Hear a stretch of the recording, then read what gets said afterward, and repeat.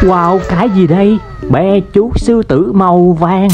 Và ở trên cái cổ của bé chú sư tử màu vàng này có một cái bông hoa gì đó mọi người ơi.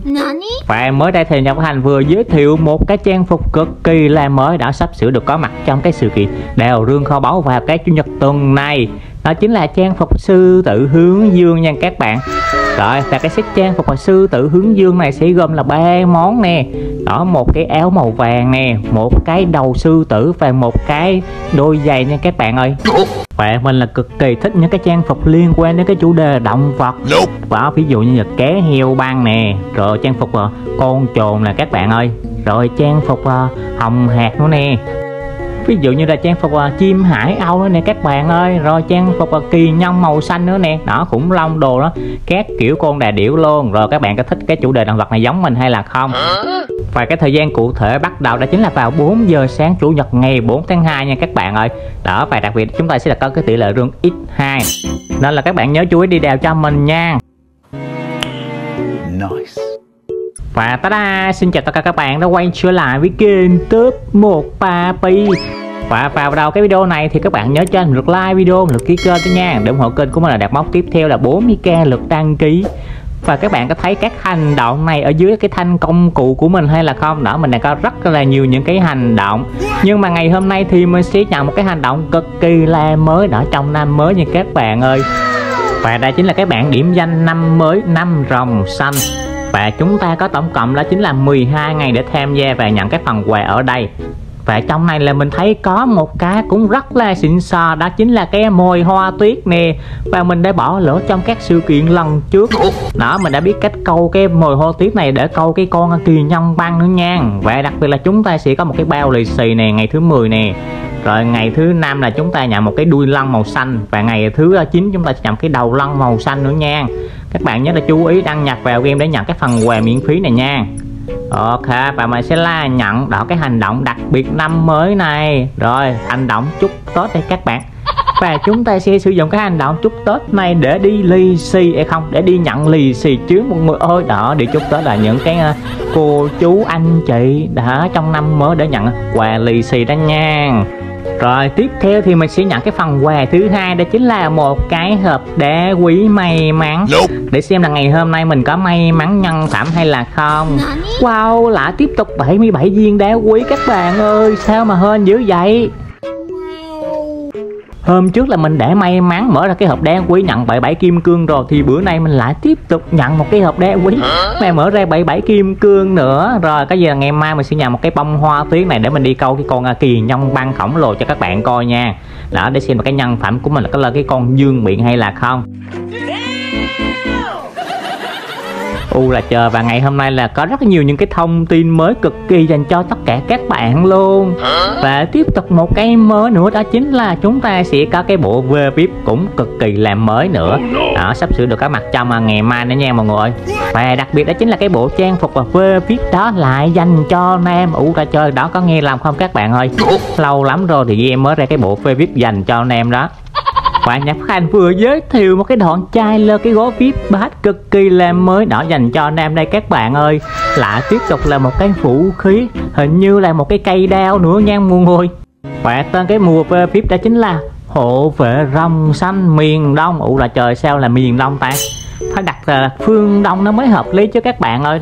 Rồi, và tiếp theo ở trong cái danh sách vật phẩm ở đây là mình thấy có một cái thanh long đao nè đó là cái vật phẩm đầu tiên. Thì theo mình nghĩ đó chính là một cái cuốc đập đế nha mọi người ơi. Oh cũng giống như là cái set trang phục vào sói tinh linh đó đó, cái kiếm là một cái cuốc đập đá rồi tiếp theo các khuôn mặt nữa nè, rồi các bộ đồ màu xanh nè, nước biển này các bạn ơi. Nhưng mà sao cái bộ đồ xanh nước biển này là có một cái nơ u là trời đã đồ này mà sao có cái nơ ta? Ngộ ghê. Rồi thêm cái tóc dài nữa nè, u là trời rồi thêm một cái sừng màu xanh nữa nè.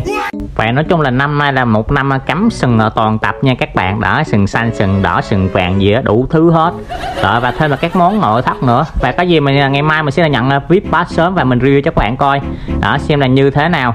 Còn bây giờ thì mình sẽ là giới thiệu cho các bạn một cái khu chụp ảnh Tết cực kỳ là mới. Đã của bạn tên là WPT đó, và nhà của bạn thì hình như là nhà 36k nè, mọi người đúng rồi đúng rồi. Đó, và bạn đang có ghi cái bản gì đây? Check in Tết ngoài vườn é máy fan. Rồi, cho tớ xin là 10 sao, ok. Nani? Thì cái khu nhà của các bạn QPT này cũng rất là hot nè. Đó, mình thấy là mọi người đang à, chụp ảnh Tết rất là nhiều và rất là đẹp luôn. Và bữa nay thì mình mới rảnh và vào tham quan thử xem như thế nào các bạn ơi.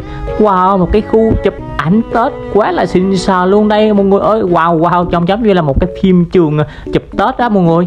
Còn bên đây là cái gì đây? Ủ là trời à thì ra là chủ nhà đập hộp là các bạn ơi. Đó rất là nhiều hộp ờ, trong cái gói cô gái couple luôn nè. Ủ là trời đỏ quá trời luôn đồ luôn kìa các bạn ơi. Đó nhưng mà không biết là chủ nhà đã mở ra cái um, vật couple chưa hay là cái bộ đồ xịn sò chưa? Rồi ok nếu mà chưa thì mình xin nhẹ vía lại cho cái bạn chủ nhà này nha. Và bây giờ mình sẽ là bắt đầu tham quan cái chợ Tết này nha. Đó mình cũng không biết tên chính xác của cái mô hình này là gì. Đó mình tạm gọi là chợ Tết nha các bạn ơi rồi, đã về trước cổng của chúng ta sẽ có hai con rồng về đã trang trí viền xung quanh này đã các món quà màu đỏ kìa.